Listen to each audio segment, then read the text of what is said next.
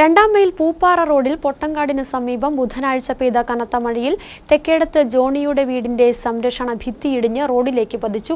റോഡിന്റെ നിർമ്മാണ പ്രവർത്തനങ്ങളുടെ ഭാഗമായി എൻ വിഭാഗം മണ്ണെടുത്തതോടെ നിലവിൽ വീട് അപകടാവസ്ഥയിലായിരുന്നു. അതിനു പുറമെയാണ് കൊടുംവളവിൽ സ്ഥിതി ചെയ്യുന്ന വീട് കൂടുതൽ അപകടാവസ്ഥയിലായി ഏത് നിമിഷവും റോഡിലേക്ക് പതിക്കുന്ന സ്ഥിതിയിലുള്ളത്. റോഡിലേക്ക് പതിച്ച കല്ലും മണ്ണും ഉടൻ നീക്കം ചെയ്യണമെന്നുമാണ് ആവശ്യം.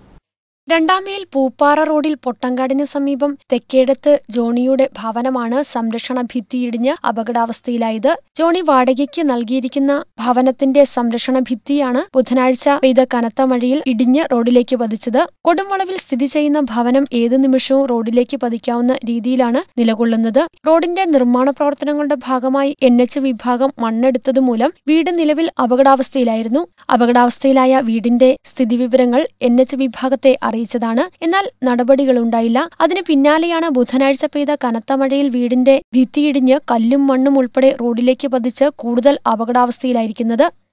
ഓണർ സ്ഥലത്തില്ല. ഇത് വാടകയ്ക്ക് കൊടുത്തിരിക്കുന്നതാണ്.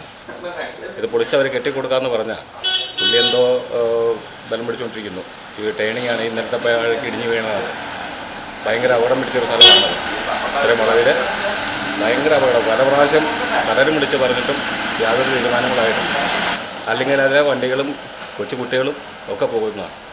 ബസ്സുകൾ സ്കൂൾ ബസ്സുകൾ ഇഷ്ടം പോലെ പോകുന്നതാണ്. ഞങ്ങൾ തന്നെ ഇവിടെ നോക്കി നിന്ന് പേടിച്ചു പോകാം ചില ടൈമിൽ ഞങ്ങൾ അവിടെ ഇവിടെ നിന്ന് കൈ കാണിച്ച് കറക്കി വിടണം. അപ്പോൾ അതിന് ദയവായി എന്തെങ്കിലും ചെയ്യണം. ഭവനത്തിൽ നിന്നും വാടകക്കാർ നേരത്തെ താമസം മാറ്റിയിരുന്നു. വളവിലിരിക്കുന്ന ഭവനത്തിന്റെ അപകടാവസ്ഥ പാതയിലൂടെ പോകുന്ന വാഹനങ്ങൾക്കും സ്കൂൾ ബസ്സുകൾക്കും ഉൾപ്പെടെ ഭീഷണി സൃഷ്ടിക്കുകയാണ്. ഇനി താമസയോഗ്യമല്ലാത്ത സ്ഥിതിയിലാണ് ഭവനം. റോഡിലേക്ക് പതിച്ച കല്ലും മണ്ണും ഉൾപ്പെടെ ഉടൻ നീക്കം ചെയ്യാൻ നടപടി വേണമെന്നും ഭവനത്തിന്റെ അപകടാവസ്ഥ സംബന്ധിച്ച് എൻ വിഭാഗം നടപടികൾ സ്വീകരിക്കണമെന്നുമാണ് ആവശ്യം. News bureau Adimali.